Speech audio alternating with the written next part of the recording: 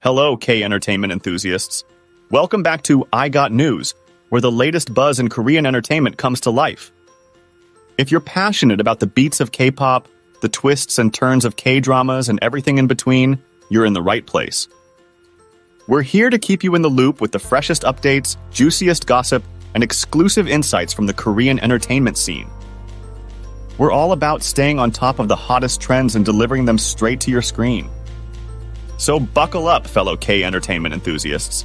I Got News is here to be your ultimate guide through the dazzling world of K pop, K drama, and beyond.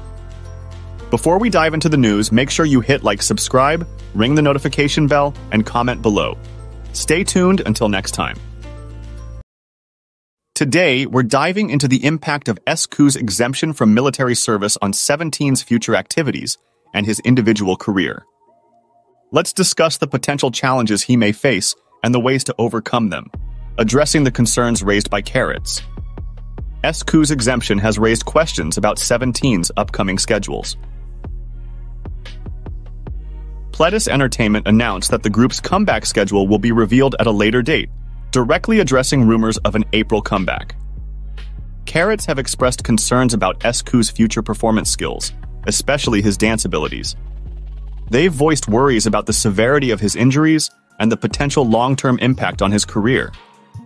As S.Coups continues his rehabilitation, it's crucial for fans to support him through his recovery journey.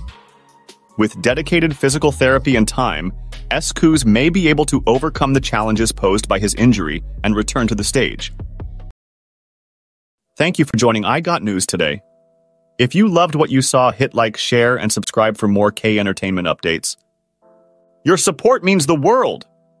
Drop your thoughts below and let's keep the K Entertainment conversation alive. As we sign off, keep spreading the K Entertainment love, stay tuned, and most importantly, stay fabulous. Until we meet again for more exciting news and updates,